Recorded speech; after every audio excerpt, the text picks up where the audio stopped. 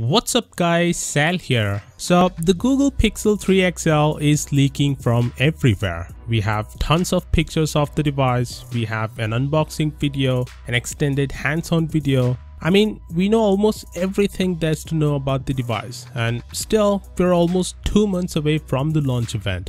Isn't this strange that a device whose launch is still months away is leaking like crazy? Which makes a lot of people ask, are all these leaks intentional? If you ask me, I believe they are. Google knows the notch is gonna bother people and they're leaking this device on purpose to make people get used to this thing. Most of the people buy Pixel phones not for the hardware or design, but for the software that it offers and for its camera. So it doesn't really bother Google if people already know how it's gonna look like. I mean, similar thing happened with the OnePlus 6 as well. After seeing the initial leaks, people used to comment that they absolutely hate the notch and are never gonna buy it. But as we got more and more leaks of the device, people slowly started getting used to the notch and then started commenting that, you know what, it doesn't look that bad and finally went on and purchased the device anyway. I feel Google is using the same approach and I'm sure it's gonna work.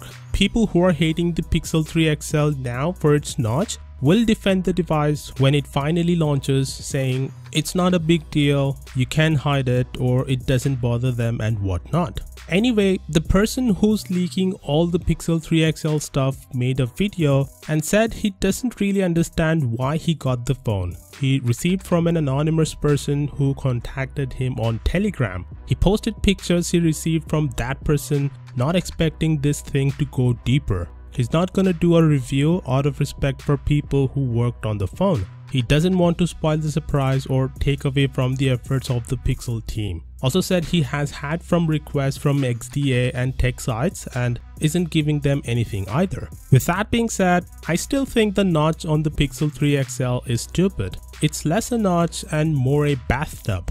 There's a bathtub on your screen. After seeing the Note 9 and even the OnePlus 6, the Pixel 3 XL is looking very disappointing. I want to root for Google because there's so much potential in them changing the landscape of the smartphone industry with design and utilizing their own operating system, but I honestly can't say the 3XL looks attractive this time. I wish as much as anyone that this isn't the real phone, but I feel like if Google was working on the real Pixel 3 XL, it would have been leaked at least a little since it's hard to keep any secret on the tech industry today.